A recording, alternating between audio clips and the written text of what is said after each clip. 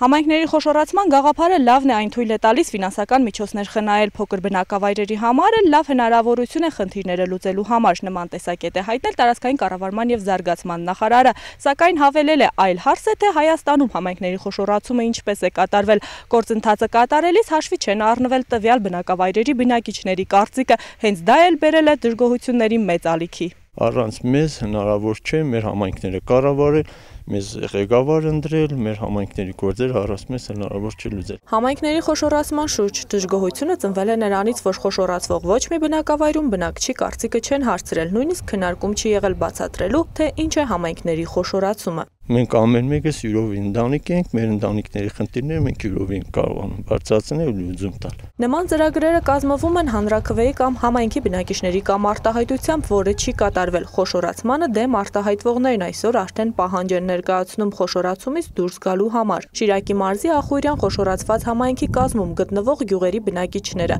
ակցիաներ են կազմակերպել, ճանապարհներ փակել ու ստորագրահավաք կազմակերպել։ Ստորագրահավաքը հիմք էր հանդիսանում, որ մեր համայնքը կոնկրետ Պասեն համայնքը ուզում է Ախուրյան համայնքից անջատել։ Տեսեք, դուք ասում եք համայնքներ կան, բոյկոտում են ու ուզում են դուրս գալ։ Այստեղ չի կարող լինել նախ դա ազգային ժողովի որոշմամբ, այսինքն օրենքով արդեն իսկ սահմանված կարգ է եւ միայն իմ ցանկությամբ հնարավոր չէ դա կամ չեղարկել կամ չեղարկել Սահմանադրությամբ 190-րդ հոդվածում հստակ նշած է որ ինչպես որ համայնքները օրենքով կարող են խոշորացվել,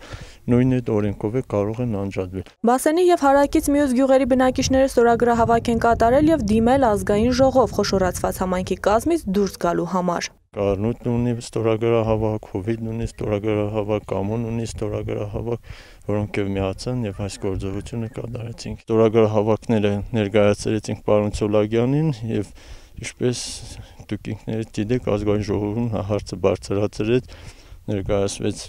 վարչապետին, տարածքային կառավարման նախարարին։ Ստորագրահավաքին պատասխան գյուղաբնակները կստանան խորհրդարանական արտահեշտ ընտրություններից հետո։ Առայժմ խոշորացման process-ը արկղված է։ Այսուհետ Հայաստանի Հանրապետությունում չեն կարող լինել այնպիսի խոշորացումներ, որոնք չեն բխում համայնքի շահերից կամ համայնքի բնակիչների ցանկությունից։ Տարածքային կառավարման ու զարգացման նախարարը դեմ չէ համայնքների խոշորացմանը, նշում է շատ բնակավայրերի օգնում է կուտակված խնդիրները լուծել, բայց ամեն ինչ պետք է լինի համատեղ քննարկման արդյունքում։ Շուրջ 2.5 տասնամյակ փոքր համայնքներ կան, որոնք հնարավորություն չեն ունեցել իրենց միջոցներով անգամ փոքրիկ խնդիր լուծել։ Այսօր խոշորացված համայնքների պարագայում մենք հնարավորություն ենք ստացել, որ այդ համայնքները կարողանան ամեն տարի 1-ից 2 բազմաբնակավայր համայնքներից գոնե 2-ում 3-ում անել այնպիսի խոշոր ծրագրեր, որոնք երբևէ այդ տասնամյակների ընթացքում չեն արվել։ Քայլ անելիս պետք է մաշտում բացատրել ներկայացնել ամբողջ ծրագիրը իր բոլոր նրբություններով հանդերձ նոր կառավարությունում նշում են պետք է երկխոսություն լինի պետության եւ բնակչի միջև։ Մարիամ Խալատյան, Կարապետ Արաքելյան, Արման Գասպարյան, Օրագից